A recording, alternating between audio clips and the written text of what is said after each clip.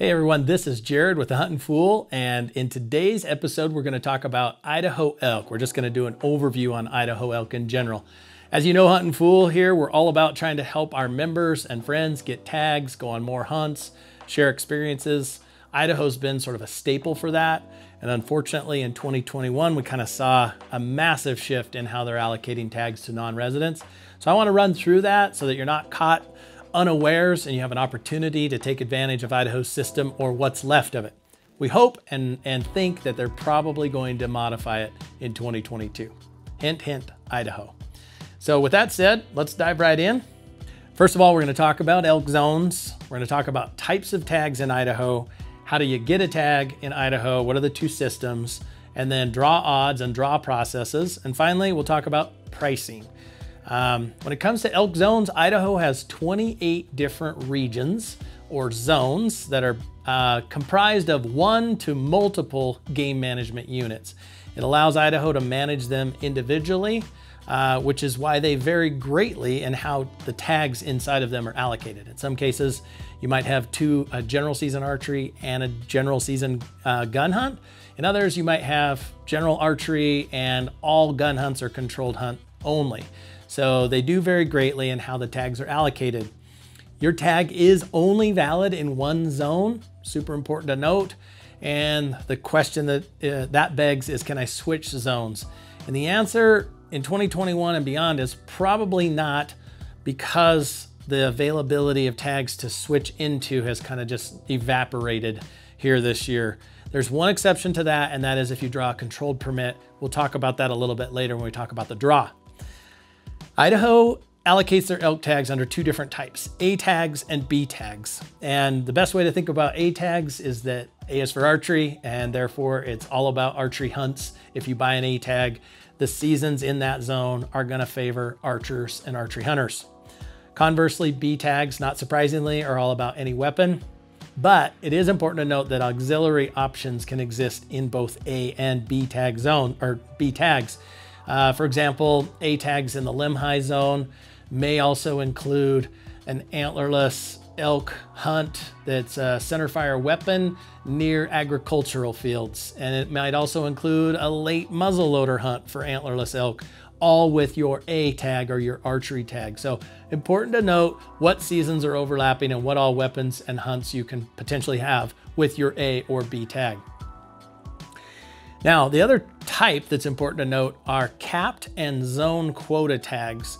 Cap tags have been around in Idaho for a long time. Idaho has used this to reduce hunter crowding in the more popular units. And in some cases, the cap applied to both residents and non-residents. And in other cases, it only applied to non-residents. But the short version is it was a first come, first serve, and still is uh, restriction on certain zones. So some zones still have these caps in place. For all the remaining elk zones in Idaho, they got introduced uh, uh, to a zone quota system this year. And it's similar to capped, but it has a fixed ratio of non-resident uh, hunters are allowed in these zone quotas, very fixed. Uh, and that was computed by looking at a five-year look-back period and taking the average number of non-residents as a percentage of total hunters in each of those zones, and then averaging that out in zones that had greater than 15% participants as non-residents, they cut that all the way down to a 15% max. And that may not sound like a lot, but when you think about the fact that some of these zones had 50% non-resident participation, it really moved a lot of non-resident hunters around. In zones that had 10 to 14% historical participation, uh, that's been reduced to a 10% max for non-residents and finally, those that were under 10% are capped at no more than 10%. The net effect, unfortunately, is that we lost 600 non-resident elk tags in the state of Idaho um, that Idaho then turned around and made up for the loss in revenue by greatly raising prices in 2021. Again, something we'll talk about later on in the slides.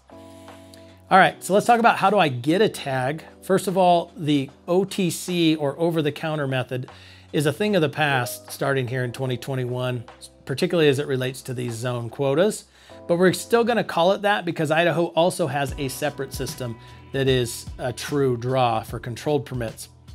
In the OTC system, tags went on sale 10 a.m. on December 1 on the website. And anybody who logged on and got into their own account was put into a big virtual waiting room. And then Idaho assigned random numbers to every to the thousands and thousands of people who were in those waiting rooms, and um, which is a draw. Let's face it; it's not over the counter at that point, but uh, it's still different than their actual main draw.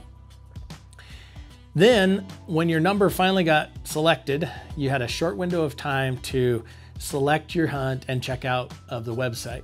And unfortunately, Idaho's website wasn't ready for that traffic. It was a terrible experience. I spent hours on it myself and uh, lots and lots of lost opportunities because people timed out, got kicked out, and never got the tags they wanted. The worst part about all of this, in our opinion, here at Huntin' Fool, is we're all about, you know, party applications because generally speaking, when you travel as a non-resident to hunt, you want to bring friends, family, whatever. And Idaho created a draw that completely ignored the opportunity for uh, friends and family to hunt together. So one friend would get a Lemhi tag and the other friend, uh, they were sold out by the time they got them because of this random draw that Idaho created in the virtual waiting room. So we're hoping 2022, Idaho's listening, but in the short term, something to be very cognizant of, particularly if you want a party hunt opportunity. All right, let's talk about the draw a little bit. Uh, all applications for elk controlled hunts need to be in by June 5th. Up to 10% of the total controlled hunts for elk can be issued to non-residents, no more than that. And then you do have to purchase a non-resident hunting license in order to apply, but you don't have to purchase an elk tag to apply. Uh, and that's important to note, particularly as it relates to this next bullet point, because you can apply for a permit in any zone you want, even if you have a tag for a different zone. Remember earlier I said you can't trade zones. So this is the one exception is that if I do buy an elk tag early and I'm in a zone, a different zone that I want to apply for a controlled permit and maybe even a different weapon type. Maybe I have an A tag and I want to apply for a B tag in a different zone. You can do that in Idaho. They make allowance for that. That point's important enough. We're going to start the next slide off one more time with it and just remind you that you can apply for a permit in any zone, even if you have a tag for a different zone. If you do have a tag and draw a permit in a different zone, uh, and or for a different weapon type, you do have to decide which one you're going to hunt. You, you can't hunt both. So you got to do one or the other. And in order to do that, you either have to claim your permit by August 1st by purchasing a hunting or a elk tag if you haven't already, or exchanging an existing elk tag into your appropriate zone. If you don't do that by August 1st, your permit goes back into a leftover drawing and you're out. All right. One thing I love about Idaho, I've been kind of bagging on them a little bit here, but the draw odds and draw processes are super simple and straightforward. This is because, first of all, Idaho does not have a point system. All tags are issued through a random process. Second of all, Idaho only looks at first choices before they move on to look at second choices. In other words, if I get lucky and my random number is finally drawn and I pop up and they look and they look at my first choice and there's a permit available for that, they will award me that permit or remove it from the quota for other people to apply for.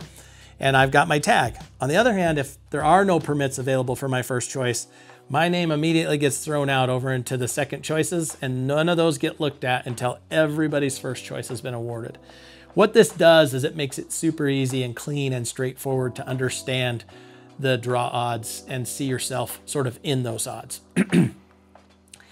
those odds range from super tough to draw tags down in the 1%, sub 1% range, all the way up into 30 plus percent. And it's important to note that Idaho has separate uh, weapon draws. So you've, you've got limited or controlled archery permits, controlled muzzleloader, controlled rifle or any weapon, short range. So if you study your draws carefully in each of those, you'll find that there's occasionally some sleepers where you have a great chance at harvesting an elk on a relatively easy, at, at least in terms of the of today's draws, uh, an easy permit to acquire. All right, when we talk about pricing, I wanna make it clear that this pricing is for an adult without any discounts. Idaho has disabled veteran discounts, youth discounts, and more. So I'm just strictly talking about an adult with no discounts. You'll have to have a $185 non-refundable hunting license, a $10 access and depredation fee, a $651.75 elk tag, an 82, almost $82 archery permit, and an $82 muzzleloader permit. In, and you need those in either case. If you're gonna hunt an archery only season, you have to have the archery stamp. If you're gonna hunt muzzleloader only, you gotta have a muzzleloader stamp. Um, so those are pretty expensive extra add-ons. And then if you apply in the draw for elk, it's an $18 controlled hunt application fee. Uh, we highly recommend if you go to Idaho and you're gonna spend all this money, you might as well put a wolf tag in your pocket because that's still a really good value at $31.75. And then finally, Idaho is gonna tack on a two and a half to 3% convenience fee for all of this as well. So Idaho has actually become one of the more expensive states as it relates to elk hunting, but they still issue a lot of tags. Uh, granted, the system was uh, less than ideal this year, but as an adventure uh, adventurous outdoor western big game hunter, you still can't afford to not have Idaho on your radar. You're just to have to know what's going to happen on December 1 when they go back into tag allocation mode for 2022. So anyway, thanks for staying tuned. We hope we can help you out and get you on more hunts uh, with friends and family and make memories in the field. And we'd love for you to keep checking back to the YouTube channel for more information like this.